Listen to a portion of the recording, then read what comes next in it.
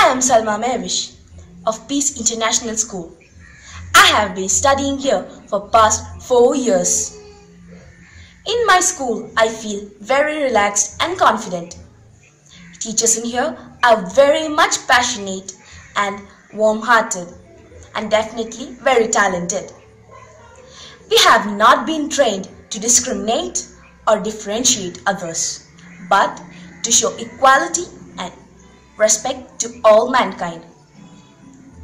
In our school, we do much for the society, uh, like uh, visiting old age home, cleaning campaigns, uh, then um, like visiting places like orphanages and special school and share lots of love and happiness with those children.